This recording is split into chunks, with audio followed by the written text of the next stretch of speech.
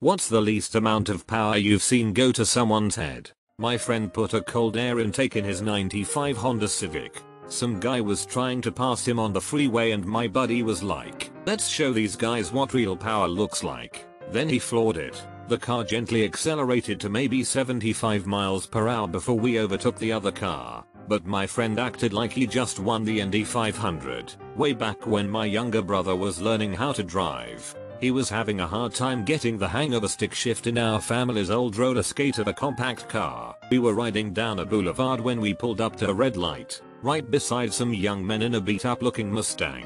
As the light changed to green my brother's foot slipped on the pedals and he accidentally revved the engine. The guys in the Mustang gave us a look and seriously thought we were calling them out to race. They revved their own engine and roared off for about 6 car lengths. Then there was a loud banging sound and black smoke came pouring out from under their hood. My brother and I slowly drove past them as they sat there looking embarrassed as F. They'd just challenged a Chevy Chevette race and lost.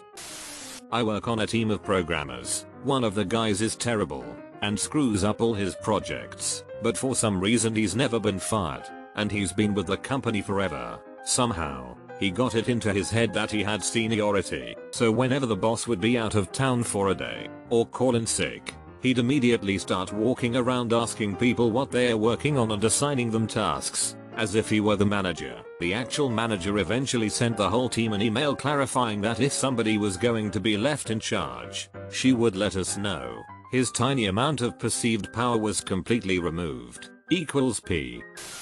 I ran a movie theater. One guy was told to go and do a theater check, which was basically ensure the emergency exit was closed and that no one was doing anything unruly. Dude really got off on telling people to put their feet down. He was studying to go into law enforcement. I was legit scared by how much he delighted in getting into people's faces because he felt he had real authority in this scenario. Respect Mar Authorita.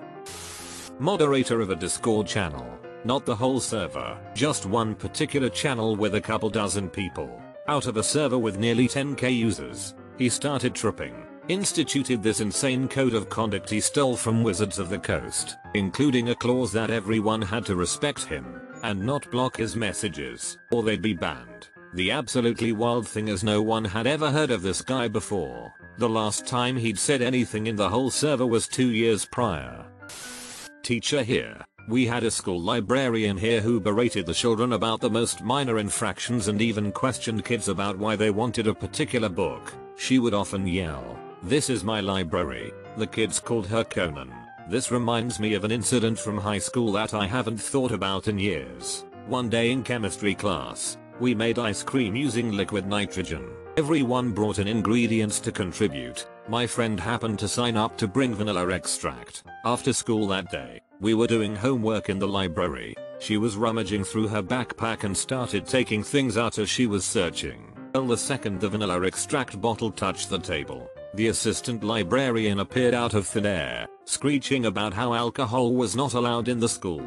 She kicked my friend out of the library, and then the rest of the group for trying to defend her. Apparently she thought that my friend was secretly drinking vanilla extract to get drunk in school and nothing could convince her otherwise. We had to bring the chemistry teacher to the library to explain the situation and prevent escalating it to the principal. Thankfully he hadn't left for the day, but he almost wouldn't come because he thought we were playing a bad joke on him. At my company of 80 people we have an HR assistant that is inexplicably in charge of the receptionist. She does nothing but make the receptionist's life miserable, and has for the previous 4 stroke 4 receptionists. She'll reprimand them for their clothes, posture, smiling too much, not enough, arrangement of workspace, cleanliness of workspace, keeping water at the desk, keeping food at the desk, using the bathroom too much, etc. It's like she saves all her anger in her whole life and takes it out on the only person who is obligated to listen to her. My company made the mistake of creating a tiered management system at a team level. So I was lead designer, had three mid-level designers I was responsible for and they each had one junior designer or intern under them. The purpose of this structure is so that I don't have to get involved with every little thing involving the junior designer's work and that they don't have to come directly to me with a problem. How it was interpreted by one of the mid-level designers was that she was now in charge of a section of the concentration camp This particular person didn't really want to be a designer. She has a skill for visuals so she ended up in a role. But really she's more of a business mind. She has terrible trouble understanding that design is an open collaborative task. You give constructive feedback and build up the people around you so that they can become better designers and get a sense of pride in their work. She saw the word manager and thought she was a whipcracker. All I'd hear was no no no no no. This is wrong. This is wrong. This is wrong. Just constant negative feedback. I stepped in and told her loudly in front of others that we don't say no or wrong in design review and she replied did I ask you? So she's not in charge of anyone anymore. My approach with her now, because I can't get her sacked, is to never give her overly positive feedback. Before I realized she was narcissistic I would have told her this is excellent wow, this is great, but not anymore. The best way to handle a narcissist is to ignore them. They get bored when they're not getting attention. I left a kid in charge of the classroom while I stepped outside for 2 minutes to consult with an administrator. I came back and he had a list of everyone who needed to be suspended. Well did you suspend them? The list was of all the people they didn't like. No one had said or done anything between me stepping into the hall and coming back in, apart from them writing the list. One time I let my daughter choose what we were doing that day. She constantly reminded me, my boyfriend, and my son that she said we were going to the playground and dictated how and when we had fun there. I had to stop her when she tried to tell her brother it wasn't a good time to pee, but it was honestly funny. The next day was his turn and he chose to just watch Star Trek TNG. So everyone but my daughter had a great day that day. I see my older niece do this all the time to the younger sibling. Okay, now we are going down the slide, as she drags her sister around. The funniest is when she tries to dictate the rules of a game so that she is guaranteed to win. Works with you 4 year old sister, not with me.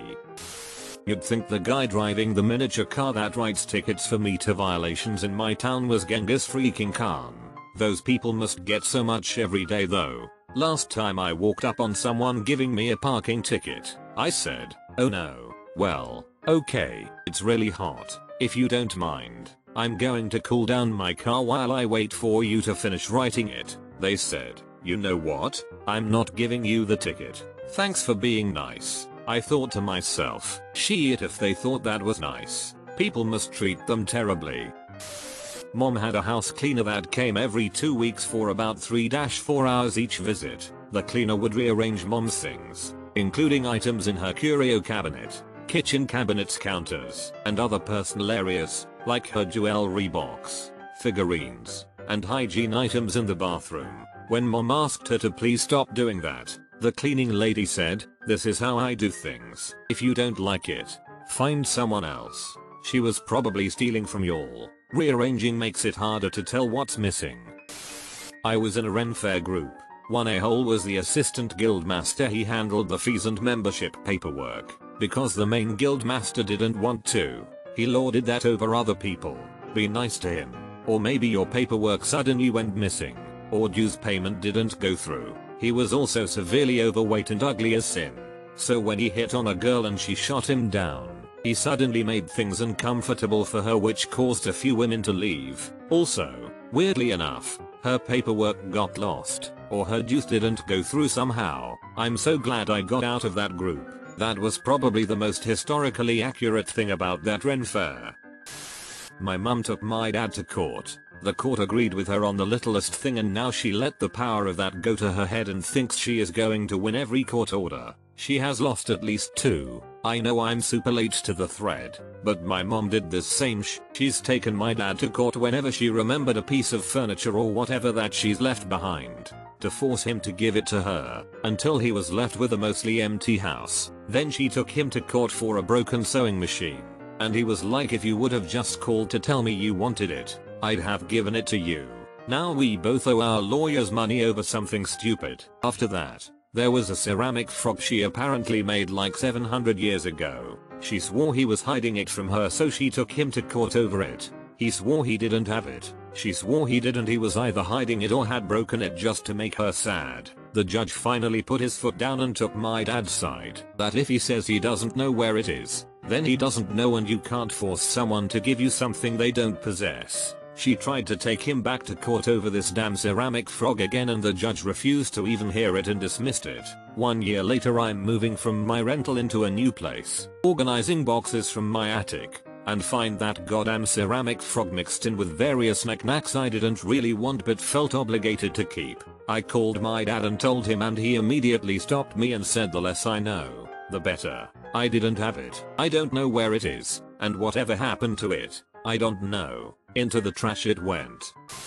This was a joke, so I don't know if it counts, but it's pretty perfect timing, as it just happened today. My brother got chosen to be an extra in the new Jurassic movie, and he's staying at my place tonight so he has an hour less to drive tomorrow morning to get to the shoot. He just sent me a fake rider for his room.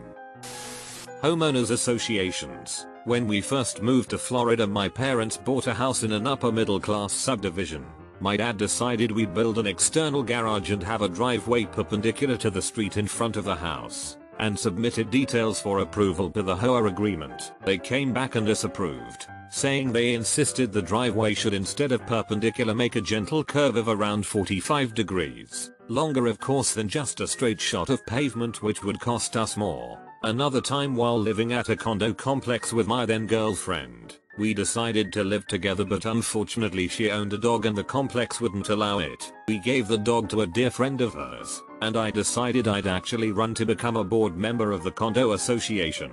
Sadly nothing came of it. I made a case for allowing small dogs, of charging dog owners extra to keep them on the property, but the board of mostly retirees and a couple of younger working people wouldn't budge. While these associations can be helpful for stuff like using fees you pay them for upkeep of common areas, landscaping, laundry rooms, and with the condos covering any roof maintenance. Unfortunately people with way too much time on their hands tend to gravitate to these positions and some relish their wee bit of power way too much. I had a condo in a high rise in Chicago. I closed on a Friday, moved in the large stuff on a Monday, and was cleaning and setting things up on and off all weekend. By Tuesday morning I had been there for maybe 4 days. On Tuesday morning I went out to get coffee and some cleaning supplies. When I got back I saw that the metal door was dirty so I sprayed it with some cleaner. Then I realized I had no paper towels. I stepped into the condo, put down my stuff, and grabbed a roll of paper towels which were right there because I was still cleaning the place.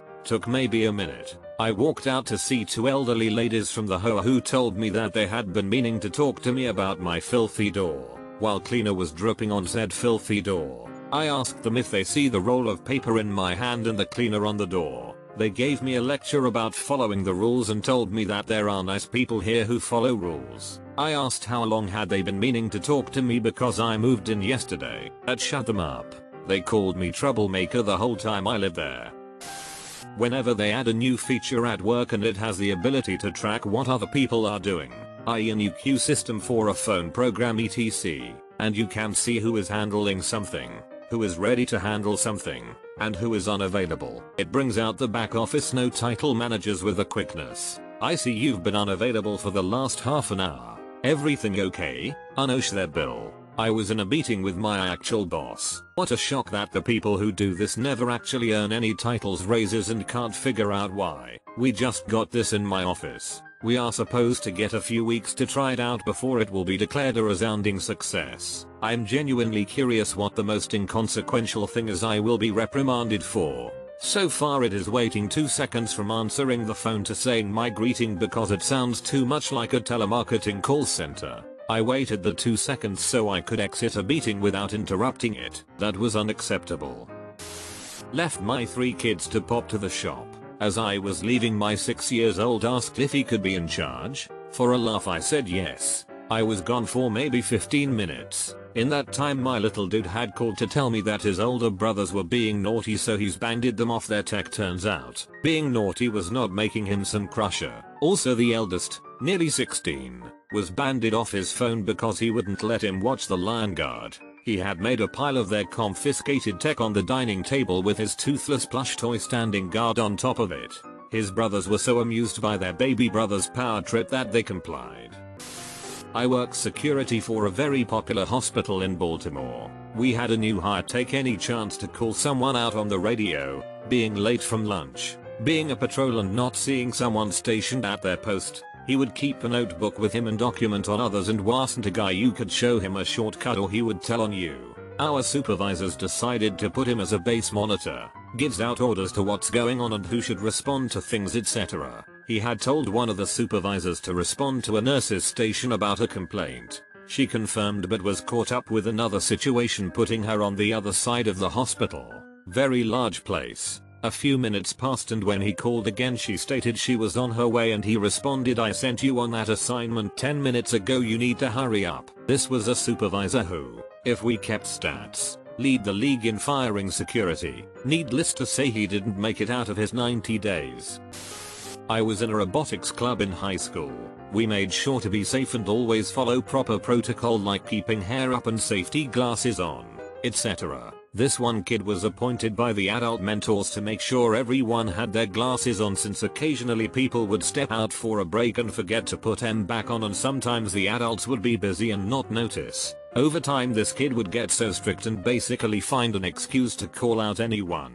One time me and my friend stepped out of the workplace area so we could eat and take a break, and he called us out for having our hair down even though we didn't even have to wear glasses in the break area. SMH how is my hair gonna get caught in some Cheez-Its?